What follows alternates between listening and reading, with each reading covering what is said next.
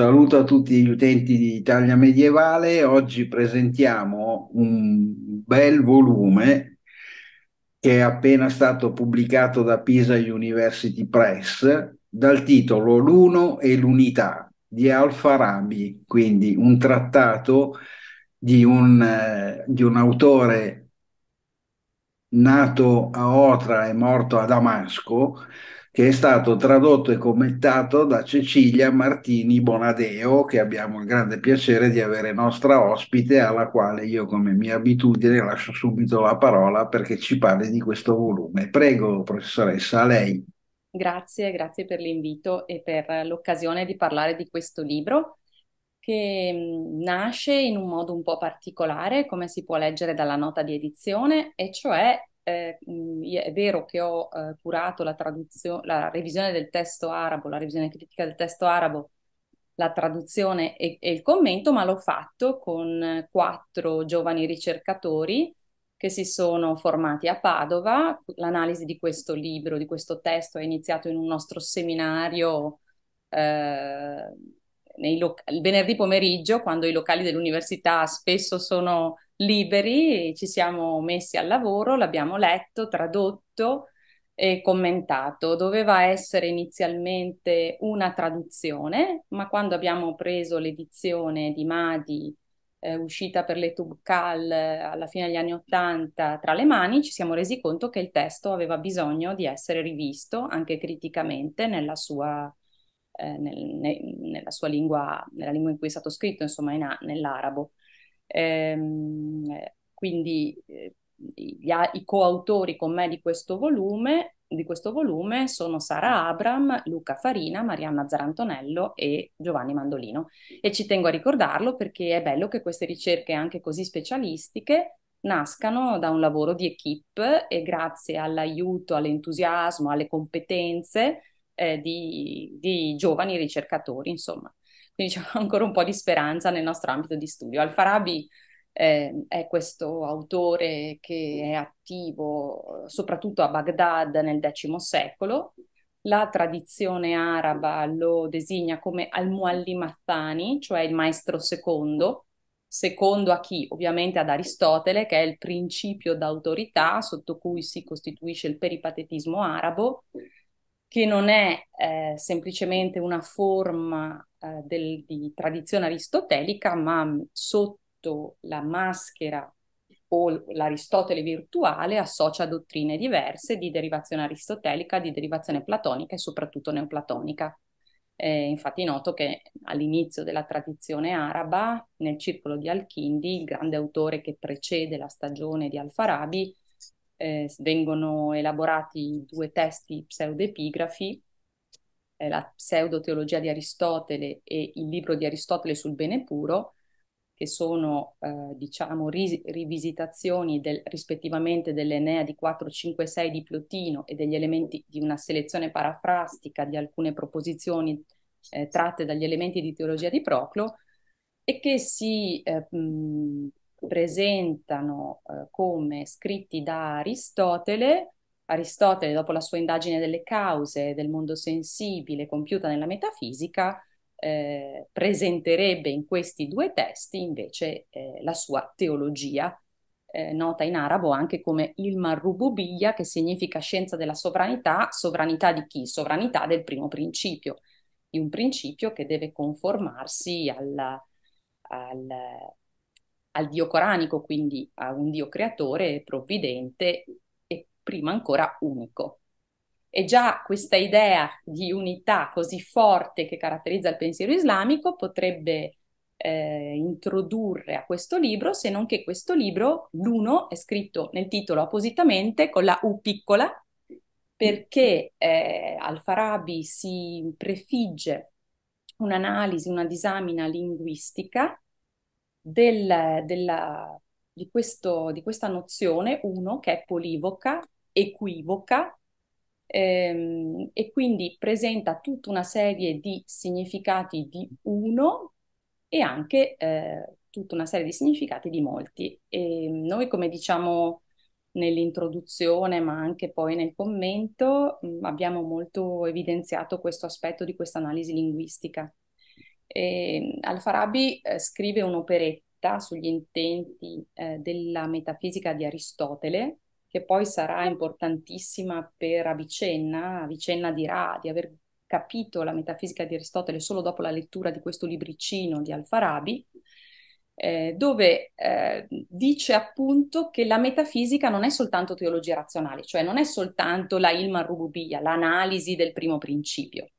ma la metafisica è la scienza universale, la scienza che studia l'ente in quanto ente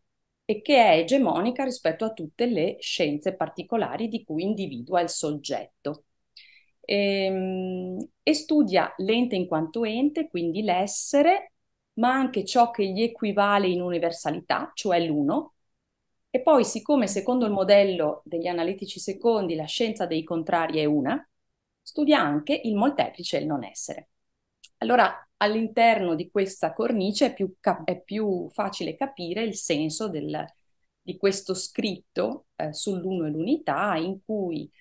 ehm, Al-Farabi si impegna in questa disamina di tutti i possibili significati di uno, di unità, di molti e di molteplice. E devo dire che è un testo faticoso, eh, ne, eh, la traduzione è una traduzione dura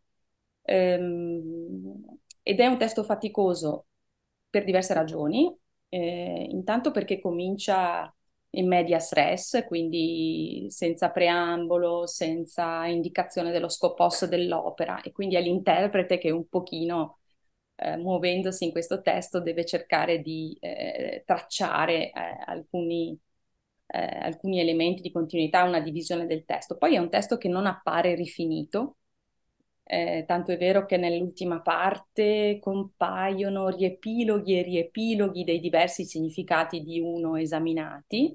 e anche questo ehm, rende a volte difficile la comprensione del testo. In ogni caso noi abbiamo cercato di eh, appunto essere molto leggeri con la partitura del testo, eliminando paragrafi e sottoparagrafi che caratterizzavano la precedente edizione e che talvolta, secondo me, elevavano eh, comprensibilità al testo, cioè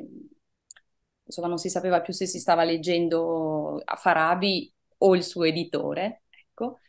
E, ehm, abbiamo introdotto, eh, abbiamo introdotto il testo giu- anche con l'ausilio di una tabella per dare un po' una, una visione di tutti i diversi significati di uno eh, indagati eh, da Al-Farabi e abbiamo corredato questo testo così duro di un commento e diciamo che nel commento abbiamo usato un duplice criterio, e cioè da un, da un lato individuare le fonti che Al-Farabi utilizza. E a questo proposito è molto interessante osservare che nell'ambito della tradizione filosofica araba di X secolo ehm, si raggiunge l'apice del momento di traduzione e la massima circolazione del, dei testi della filosofia antica e tardoantica, ma anche della letteratura esegetica ad essi dedicata. E tanto è vero che Gerhard Endres in un suo celebre saggio parla di questa di questa disponibilità di testi, poliva- polivocità di di opinioni, anche diafonia di opinioni e competizione di modelli, proprio mettendo insieme tutti questi aspetti, parla di open society, parlando del, del X secolo a Baghdad. E, e poi invece un secondo elemento che ricorre sempre nel commento è, è quello per cui facciamo vedere come un certo significato di uno distinto da Al-Farabi da un punto di vista di analisi esclusivamente linguistica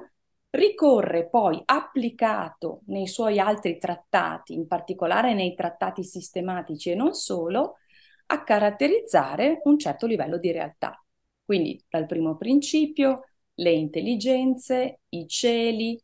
eh, il genere, la specie, l'individuo e quindi come questa analisi linguistica in realtà è fondamentale alla comprensione del sistema filosofico tutto di questo autore,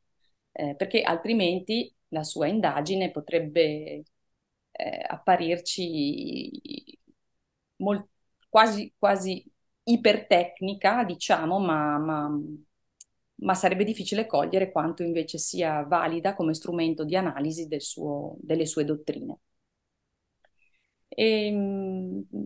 queste, le, queste, le caratteristiche, queste le caratteristiche principali. E, ehm, è significativo che questo testo, che era stato edito appunto alla fine degli anni Ottanta, non fosse mai stato tradotto in una lingua occidentale, eh, se non in, una, eh, in un lavoro per un bachelor ad Oxford negli anni 60, eh, lavoro no, dove era stato tradotto in, in, inglese. Questo lavoro non è mai stato pubblicato. Eh, risentiva del fatto che il suo autore conosceva due sui tre manoscritti che conservano l'opera eh, e quindi penso che eh, sì, mh, questa prima traduzione potrà certamente favorire studi anche più accurati del nostro eh, su questo testo. Insomma, abbiamo in qualche modo eh, spero, aperto una via a ricerche eh, anche più approfondite della nostra, mh, perché per noi è stato veramente molto difficile appur, dissodare il terreno, ecco, diciamo così. E, ehm, abbiamo nella nota editoriale voluto ricordare tutte le persone che ci hanno veramente aiutato in questa ricerca, tra cui eh, lo, la, la, facoltà di, di eh, lingue orientali di Oxford che ci ha concesso la, la visione di questo, eh, di questo, testo, di questa tesi eh, inedita, ehm, il professore Ermele Sanolu che ci ha eh, dato una mano a, a, procurare i manoscritti, Rudiger Arzen con cui abbiamo rivisto eh, il testo arabo, insomma è stato veramente un uh, lavoro di squadra di cui io sono molto fiera anche perché eh, questi ragazzi hanno tutti i coautori del volume, questi giovani ricercatori hanno tutti curato una parte. E, ehm, ecco, un altro aspetto che distingue questo lavoro è eh, l'utilizzo di tutti e tre i manoscritti che conservano l'opera anche rispetto alla precedente edizione di Madi. Ehm, perché studiando la tradizione manoscritta abbiamo visto che due codici che Madi considerava ehm, padre e figlio in realtà sono fratelli e quindi sono da considerare, sono da tenere entrambi eh, in apparato critico. Quindi anche da un punto di vista proprio del testo arabo è un testo ehm, molto diverso dalla precedente edizione. Ehm, si aggiunga a questo una caratteristica nella, nelle pagine introduttive della precedente edizione Madi diceva che dove il testo non tornava per forma o per struttura, eh, lui suppliva ehm, ponendo le parole mancanti a, tra parentesi quadra. Il problema è che eh, l'intervento eh, è, che normalizza il testo arabo è talmente frequente che per il lettore anche avvertito è impossibile leggere questo testo eh, prescindendo da tutte queste parentesi quadri che ricorrono con parole che non sono presenti nei manoscritti. Quindi insomma, mh, anche dal punto di vista del testo arabo credo mh, che possa considerarsi sicuramente un passo avanti rispetto a quello che, eh, di cui prima disponevamo. Eh beh,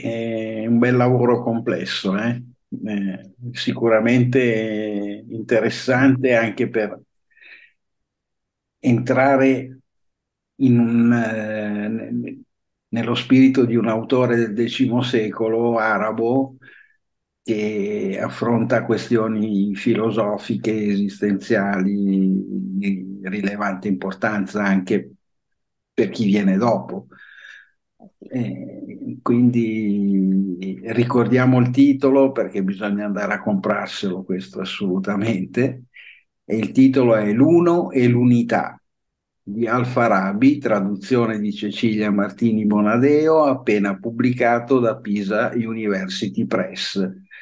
E noi ringraziamo tantissimo Cecilia Martini per avercene parlato così, in maniera così esaustiva e a tutti voi ricordiamo di continuare a seguirci sul nostro canale YouTube dove troverete questa video presentazione insieme a tutte quelle realizzate fino ad oggi. Grazie ancora professoressa. Grazie, grazie a voi. Sancte Deus,